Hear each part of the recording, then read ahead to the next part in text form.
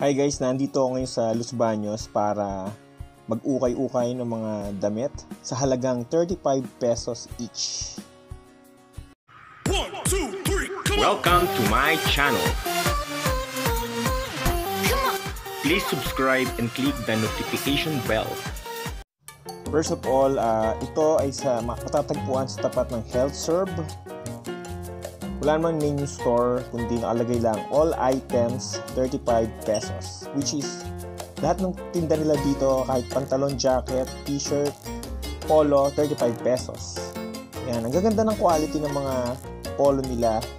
And last week, nakabili ako ng dalawang long sleeves at isang jacket. Ayan o, ang ganda. 35 pesos lang yan. Kukunin ko yan. Makikita mo naman kasi yung tela. Itong chops, lalaban lang pero yung ayos pa. Na-check ko na kanina, walang damage. Itong Van Heusen,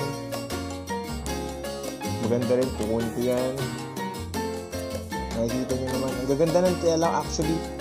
Ah, parang marami akong gustong bilhin pero since nasa bahay lang naman naka-lockdown, babalik na ako. And nakausap ko actually, ay nakausap ko yung may-ari. Sabi niya, nagbagsak presyo talaga sila ng ukay-ukay ngayon dahil ang priority ng mga tao ay pagkain at basic necessities. Kaya from usual na 100 pesos naging 35 pesos. Yan, ah, yan, bibili, bibiling ko tong pantalon. Mga legit na Levi's yan. Ang nangyayari lang pag mga pantalon, ah, pinababawasan ko lang or minsan pina-adjust yung waistline kasi medyo tumaba ako during this pandemic at yung mga binibili kong damit ay hindi na kasya.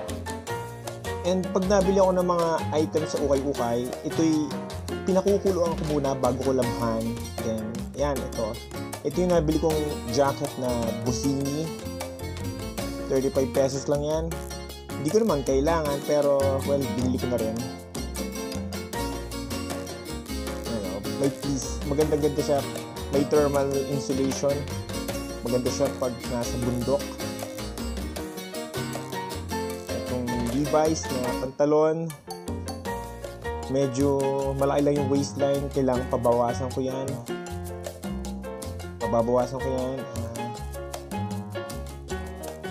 Mas mahal pa yung pabawas ng waistline which is 70 pesos compare sa actual na pants na 35 pesos. Ito namang polo o Wharton. Ang ganda.